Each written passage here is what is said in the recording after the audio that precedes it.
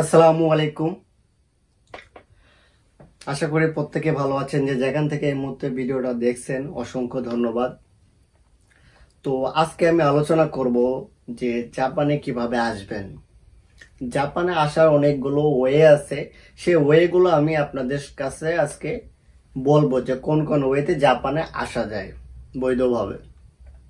মানে জাপানে অবৈধভাবে ইউরোপের মতো আসা যায় না। জাপান আসতে হলে বৈধভাবে আসতে হয়। তো প্রথমত যেটা আপনি আসতে পারবেন স্টুডেন্ট ভিসায় এবং দ্বিতীয় নাম্বারে আপনি আসতে পারবেন জব ভিসায় এবং তৃতীয় নাম্বারে আপনি আসতে পারবেন ট্যুরিস্ট ভিসায় চতুর্থ নাম্বারে আপনি আসতে পারবেন ডিপেন্ডেন্ট ভিসায় তো এই চারটা ক্যাটাগরি আর কি আমি এই বিষয় নিয়ে কথা বলব। তো অবশ্যই ভিডিওটা একটু বড় হবে, কারণ আমি ফুল ডিটেলস আলোচনা করব এই ভিডিওটার মধ্যে। তো প্রথমে যেটা নিয়ে শুরু করব সেটি হলো স্টুডেন্ট ভিসায় স্টুডেন্ট ভিসায় কীভাবে আসতে হবে, কি কি রিকোয়ারমেন্ট লাগে, কত দিন সময় লাগে, কত টাকা খরচ হয়। তো অবশ্যই ভিডিওটা দেখতে থাকুন, না টেনে। আর বারবার বলতেছি ভিডিওটা বড় হবে।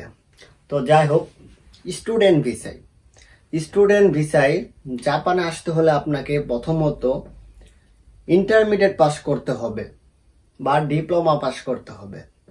তারপরে আপনার বাংলাদেশ থেকে এন ফাইভ যেটা জাপানিজ ল্যাঙ্গুয়েজ কমপ্লিট করতে হবে এন ফাইভ লেভেল পর্যন্ত। তারপরে এন ফাইভ কমপ্লিট করার পর আপনি জাপানে একটা ল্যাঙ্গুয়েজ স্কুলে অ্যাডমিশন নিতে হবে। তারপরে জাপানিজ ল্যাঙ্গুয়েজ স্কুল থেকে আপনাকে একটা ভিডিও কনফারেন্স করবে, আপনাকে একটা স্কাইপে কল দিবে। তো তারপর আপনার যখন কনফার্ম হবেন যে, তারা কনফার্ম হবে যে আপনি স্টুডেন্ট আপনার সকল কাগজপত্র তারা দেখবে। প্রথমত বলি যে স্টুডেন্ট ভিসায় অ্যাপ্লাই করার জন্য আপনার দরকার হবে পাসপোর্ট এবং আপনার সার্টিফিকেটগুলো আপনার তিনটা পরিচয়পত্র দিতে হবে। তো মোটামুটি মানুষ পাসপোর্ট এবং আপনার স্টাডি যে ডকুমেন্টগুলো সার্টিফিকেটগুলো থাকে, এগুলো দিয়েই পাঠায়। তো তারপরে তারা যদি আপনাকে চুজ করে, তো তারা আপনাকে স্কাইপের মাধ্যমে কল দিবে। স্কাইপে আপনাদের সাথে কথা বললে তারা যদি দেখে যে আপনি সে অরিজিনাল ব্যক্তি এবং আপনি নিহঙ্গ লেভেল জাপানিজ লেভেলটা মোটামুটি আপনি বলতে পারেন, শুনতে পারেন, বুঝতে পারেন, তখন আপনার তারা সিইও লেটারটা পাঠাবে।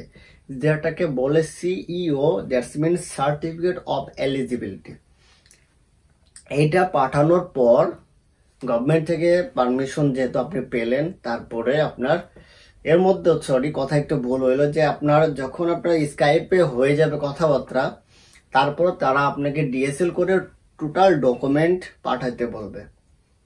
তো ডকুমেন্টগুলো পাঠানোর পর আপনার ইউনিভার্সিটি একটা সিও লেটার পাঠাবে। সিও লেটারটা নিয়েই আর কি আপনাকে ইমিগ্রেশনে যেতে হবে ভিসার জন্য। তারপর আপনি ভিসা পেয়ে গেলেন ইন্টারভিউ ওখানে কিছু প্রশ্ন করবে, কোথায় যাচ্ছ, কোন স্কুলে যাচ্ছ এখন বর্তমানে কি করতেছো? ব্যাংক স্টেটমেন্ট কার্ড জাস্ট এইগুলো। তো আমি বিস্তারিত ভাবে অন্য একটা ভিডিওতে আলোচনা করছি, আপনারা সেখানে দেখতে পারবেন। শুধু স্টুডেন্ট ভিসা নিয়ে কথা বলা আছে। যেহেতু আজকে র্যান্ডম কথা বলব যে কি কি উপায়তে আসা যায়। তো যার কারণে আমি আর বেশি বিস্তারিত করে বলতেছি না। তো আপনারা পরের ভিডিওটা দেখে নিয়েন। আর এই হলো স্টুডেন্ট ভিসাতে আপনারা আসতে পারবেন। এখানে স্টুডেন্ট ভিসা এসে পড়াশোনা করার পরে আপনারা জব জবের জন্য অ্যাপ্লাই করতে পারবেন আপনাদের ইউনিভার্সিটি থেকে জব আপনাদের দিয়ে দিবে অফার করবে। তো তারপর আপনারা স্টুডেন্ট ভিসা থেকে আপনারা জব ভিসায় চলে যেতে পারবেন। তো এখন স্টুডেন্ট ভিসা নিয়ে মোটামুটি একটু আপনাদের ধারণা হলো যে এখানে এসে কিন্তু স্টুডেন্ট ভিসায় এসে স্টাডি শেষ করে জব করে এর মধ্যে আপনি কিন্তু সিটিজেনশিপ পিআর এর জন্য অ্যাপ্লাই করতে পারবেন। এবং এখানে জাপানে আপনি সিটিজেনশিপ পাবেন। তো এখন দ্বিতীয় স্টেপটা হচ্ছে কি জব ভিসা আমাকে নর্মালি বেশিরভাগই প্রশ্ন আসে, বেশিরভাগ কমেন্টস আসে এবং আমাকে ফোন দেয় মেসেজ দেয় যে, ভাইয়া জব ভিসা কীভাবে আসব? তো এই জব ভিসায় কিন্তু অনেকগুলো ক্যাটাগরি আছে। আপনার স্কেল নন স্কেল হ্যাঁ? তারপর আইটি সেক্টর বিভিন্ন সেক্টর ইঞ্জিনিয়ার ইঞ্জিনিয়ার আছে যারা, তো তারা কিন্তু জব ভিসায় সহজে আসতে পারে।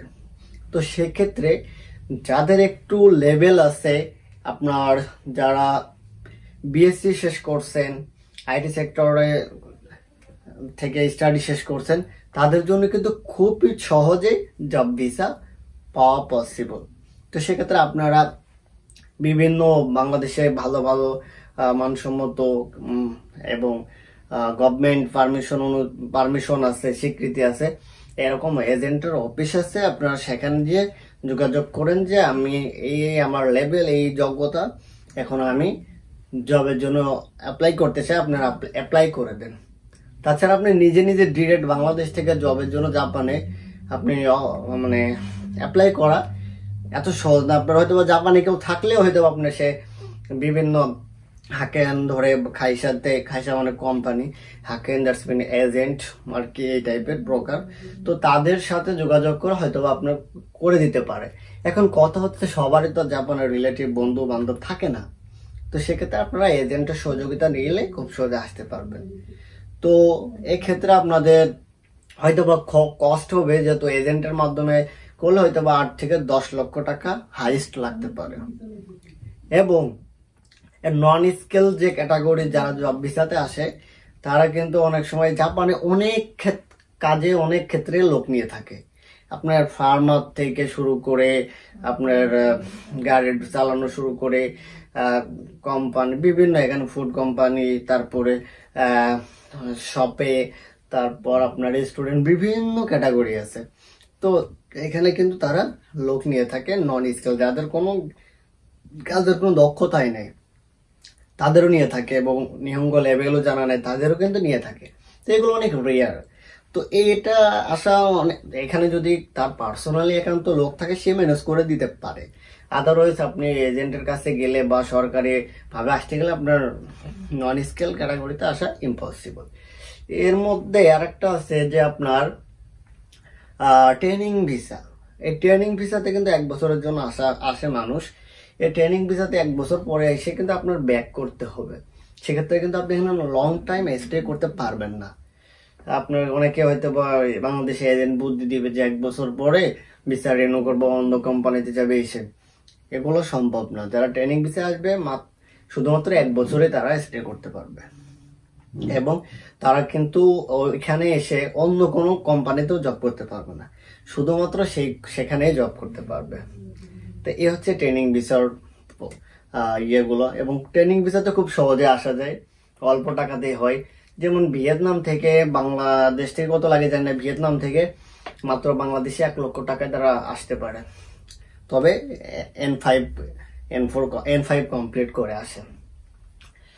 তো এরপরে আপনার কথা বলব যে মোটামুটি স্টুডেন্ট ভিসা সম্পর্কে একটু বললাম। তারপরে জব ভিসা নিয়ে বললাম। নন ক্যাটাগরি নন স্কিল হ্যাঁ? বিভিন্ন ক্যাটাগরিতে থাকে, সেগুলো বললাম। যে অনেকের এর মধ্যে প্রশ্ন থাকে যে, ভাই জাপানিজ ল্যাঙ্গুয়েজ না জানা থাকলে কি আসা সম্ভব? হ্যাঁ সম্ভব বাট ভালো কোনো ব্রোকার এজেন্ট ভালো অফিস থেকে যোগাযোগ করলে তারা বিভিন্ন এখানে নিয়োগ থাকে, তারা কালেক্ট করে দিতে পারে। এখন কথা হচ্ছে কি ডিপেন্ডেন্ট ভিসাতে আসে কি করে মানুষ? ধরেন, আমি এখানে জাপানে আছি, আমি জব করতেছি, আমার জব ভিসা আছে। তো সেক্ষেত্রে আমি আমার ওয়াইফকে আমি ডিপেন্ডেন্ট ভিসায় নিয়ে আসতে পারব। এবং আমার একটা বাচ্চা যদি থাকে, সেটা যদি আঠারো বছরের নিচে হয়, সেক্ষেত্রে আমি তাকে ডিপেন্ডেন্ট ভিসায় নিয়ে আসতে পারব। এবং ডিপেন্ডেন্ট ভিসায় নিয়ে এসে আপনারা ভাবেন অনেক সময় যে তার ওয়াইফকে জব করতে পারবে, না শুধু বসে বসে খাবে। তার বাচ্চা জব করতে পারবে না, আঠারো বছর পর্যন্ত, আঠারো বছর উপরে হলে তো তাকে নিয়ে আসতেও পারবেন না। তো সেক্ষেত্রে আপনার ওয়াইফ জব করতে পারবে, কিন্তু সপ্তাহে আপনার সাতাশ থেকে আঠাশ ঘণ্টা জব করার পারমিশন আছে। তো মোটামুটি সে এক লক্ষ সামথিং ইনকাম করতে পারব মান্থলি তা তার খরচ বা আপনার ফ্যামিলিতে কিছু কম বেশি সে বেয়ার করতে পারবে। এই ছিল হচ্ছে আপনার ডিপেন্ডেন্ট ভিসা এবং লাস্টে আমি যেটা বলব, সেটা হচ্ছে ট্যুরিস্ট ভিসা ভিসা এই ভিজিট ভিসায় এই ভিজিট ভিসায় মানুষ কীভাবে আসে বা ট্যুরিস্ট ভিসায় কীভাবে আসে এবং এসে অনেকেই তো জাপানে থেকে যাচ্ছে। তো আমাকে অনেকেই বলে যে, ভাই পাঁচ ছটা দেশ ঘুরলে জাপান যাওয়া যায়। হ্যাঁ পাঁচ ছয়টা কান্ট্রি ঘুরলে আপনার জাপানে ভিসা হওয়ার সম্ভাবনাটাও ফিফটি পার্সেন্ট থাকে। কিন্তু আপনি কোনো দেশে ঘোরা নাই, সেক্ষেত্রে দু একটা দেশে ঘোরা, সেক্ষেত্রে জাপানে এই ভিসা ইম্পসিবল অনেকে বলে, ভাই, আমি ইন্ডিয়া ঘুরছি মালয়েশিয়া গেছি, হবে। তো বলব যে হবে না। আপনাকে minimum China, Dubai, Malaysia, Singapore, India, এরকম থাইল্যান্ড, বেশ কয়েকটা কান্ট্রি এশিয়ার মধ্যে ঘোরার পরে আপনি একটা সময় সুযোগ করে, যেমন এখন ভ্যাকেশন চলতেছে, জাপানে ঘোরার জন্য অনেকে আসতেছে। ফেব্রুয়ারি মার্চটায় এপ্রিল পর্যন্ত এই তিন মাস কিন্তু বিভিন্ন দেশ থেকে পর্যটক আসে। এখন করোনা ভাইরাসের জন্য কিন্তু আমরা সচরাচর লোক বেশি দেখতেছি না, তারপরেও ডেলি ডেলি আসতেছে। এরা কিন্তু জাপান কিন্তু এখন পর্যন্ত করোনা ভাইরাস খুব একটা ইফেক্টেড হয় নাই। প্লাস তাদের এয়ারপোর্ট সচল রাখছে, তাদের পর্যটক প্লেসগুলো সব বন্ধ করে নাই। তো কথা হচ্ছে যেটা আমি বলি যে বাংলাদেশ থেকে অনেকে সরি স্টুডেন্ট স্টুডেন্টরা যারা বিশ, বাইশ বছর বয়স, তারা বলে ভাই আমরা টুরিস্ট ভিসায় এসে অ্যাসাইলাম করে থেকে যাব। তো ভাই, আমি তাদের উদ্দেশ্য করে বলছি, আপনার স্টুডেন্ট আপনি চেষ্টা করুন স্টুডেন্ট ভিসায় আসার বা আপনি জব ভিসায় আপনার দিয়ে টুরিস্ট ভিসা ইম্পসিবল কারণ আপনার যদি টুরিস্ট ভিসাতে আসতে হয়, সেক্ষেত্রে আপনার বাবার অনেক টাকা থাকতে হবে ব্যাংক ব্যালেন্স দেখাতে হবে এবং আপনার এই বয়সে আপনি এতগুলো দেশ ঘুরতেছেন, আপনার পারপোজ আপনার অবশ্যই ব্যাংক স্টেটমেন্ট স্ট্রং থাকা লাগবে। এবং সেক্ষেত্রে আপনি যদি অ্যাব্রোড স্টুডেন্ট হন যদি আপনি বাইরে মালয়েশিয়া, চায়নাতে পড়াশোনা করেন, সেক্ষেত্রে কিন্তু আপনার একটা আলাদা অপরচুনিটি থাকতো, সুযোগ ছিল। আপনি বাইরেই পড়াশোনা করেন, সেক্ষেত্রে আপনার বাবা টাকা পয়সা দেয়, আপনি সে টাকা দিয়ে প্রতিটা আপনার ভ্যাকেশনে ঘোরাঘুরি করেন। তো একটা মানে বিষয়ের জন্য আপনার অনেক ইজি ছিল জাপানের ভিসা পাওয়ার জন্য। কিন্তু বাংলাদেশে পড়াশোনা করেন আপনি, সেক্ষেত্রে মালয়েশিয়া, ইন্ডিয়া আমার কাছে অনেকে প্রশ্ন, আমাকে অনেকে বলে, ভাইয়া পাঁচটা দেশ ঘুরতে কত টাকা লাগে? তো ভাইয়া, তুমি স্টুডেন্ট মানুষ, আমি তোমাকে বলি, যে স্টুডেন্ট অবস্থায় তোমার বাবা মা তোমাকে পাঁচ সাত লক্ষ টাকা দিবে না, শুধু ঘোরাঘুরি পারপোসে যে তুমি ঘোরাঘুরি করো, তারপরে তুমি জাপানে যাও। এটা শুধুমাত্র কারা পারে যারা ব্যবসা করতেছে, তারা জব করতেছে, তাদের ক্ষেত্রে পসিবল তো স্টুডেন্ট যারা এখন স্টিল নাও তাদের বলব যে তারা জাপানিজ ল্যাঙ্গুয়েজটা শেখো ভাই। তোমরা শেখার পরে স্টুডেন্ট ভিসায় অ্যাপ্লাই করো। তা না হলে বিভিন্ন ক্যাটাগরি জব ভিসা আছে জব ভিসায় ট্রাই করো। টুরিস্ট ভিসায় আসার চিন্তা মাথা থেকে ফেলে দাও। তো আশা করি আমাকে এই বিষয় নিয়ে অনেকেই প্রশ্ন করছিল, ভাই কত কষ্ট হয়, কেমনে কি? তো এইগুলো আসলে যারা স্টুডেন্ট অবস্থায় আছে, তাদের জন্য ঝেড়ে ফেলো। এবং লাস্ট আমি যেটা বলব আপনাদের সবকিছু বিস্তারিত বললাম। ভিডিওটা যদি ভালো লাগে অবশ্যই দেখবেন যে আরও ভিডিও আছে। স্টেপ বাই স্টেপ করা আছে যে tourist visa job visa dependent visa বিভিন্ন ধরনের যে যত ভিসা ক্যাটাগরি আছে, সব ধরনের ভিডিও আমার এই চ্যানেলটাতে দিয়ে আছে। একটু কষ্ট করে ভিডিওগুলো দেখে আসতে পারো। এখন লাস্টে আমি যেটা বলব যে জাপানের কি বর্তমান সিচুয়েশন তারা কি ভিসা দিচ্ছে বা ঢুকতে দিচ্ছে? তো এই প্রশ্নটা আমাকে অনেক অনেক অনেক মানুষ করছে কারণ ডেইলি আমি দেখতেছি ফ্লাইট করতেছে, বাংলাদেশ থেকে আসতেছে। তো আসার আগে আমাকে বলতেছে, ভাইয়া জাপানের ফ্লাইট কি চালু আছে বা জাপান আসলে কি এখন টুরিস্টে এসে ঘুরতে পারব বা অ্যাসাইলাম করতে পারব কিনা? অফিস খোলা আছে কিনা? তো হ্যাঁ ভাই, আপনার অফিস খোলা আছে। ইমিগ্রেশন চালু আছে, ফ্লাইটও চালু আছে। ডেলি আপনার ইয়েস্টারডে নাইটেও একটা বাংলাদেশ থেকে একটা ভাই আসছে। আবার দুই, তিন দিন ভিতরে আমার কাছে অনেকে মেসেজ করে তো যার কারণে আমি ইনফরমেশনগুলো জানি।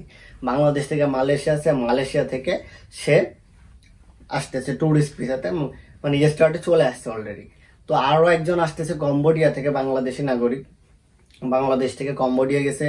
কম্বোডিয়া থেকে উনি বিজনেস ভিসা ছিল, তারপর উনি জাপানে আসতেছে। তো আমাকে বারবার জিজ্ঞাসা করতেছে, ভাইয়া, যে এখন কি জাপানে ইন করা যাবে, ঢুকতে দিচ্ছে কিনা? বা উনি আরও সম্ভবত অ্যাসাইলাম করবে, যার কারণে কনফার্ম হচ্ছে। তো হ্যাঁ অ্যাসাইলাম তারা নিচ্ছে। ইমিগ্রেশন অফিসও খোলা আছে। তারপর প্লেনও চলতেছে, সবকিছু ঠিক আছে ভিসাও দিচ্ছে। তো কোনো সমস্যা নাই, যাদের ভিসা আছে, তারা ঘুরতে আসার জন্য প্রিপারেশন নিয়েছিলেন, তারা আসতে পারেন। Welcome to Canada sorry welcome to Japan তো সবাই ভালো থাকবেন, সুস্থ থাকবেন। আশা করি ভিডিওটা একটু বড় হয়ে গেছে তারপর আপনারা দেখছেন। এবং ভিডিওটা ভালো লাগলে অবশ্যই অন্য ভিডিওগুলো চেক করে আসবেন। আসসালামু আলাইকুম বাই বাই